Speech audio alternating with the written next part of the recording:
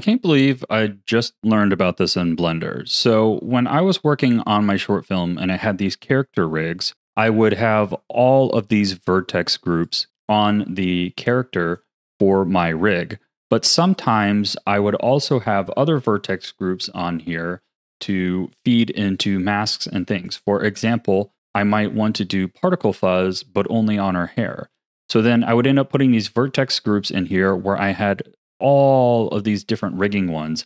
And then I was always constantly scrolling through and kind of trying to find the different vertex group. Well, there's actually a couple sort options I just learned about that make this easier. First of all, if you click this drop down arrow, you can sort by bone hierarchy or by name.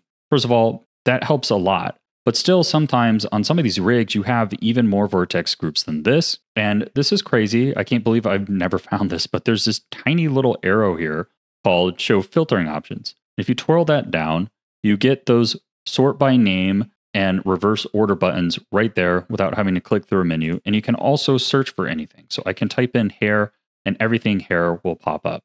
This would have saved me a ton of time. I hope it helps you save time.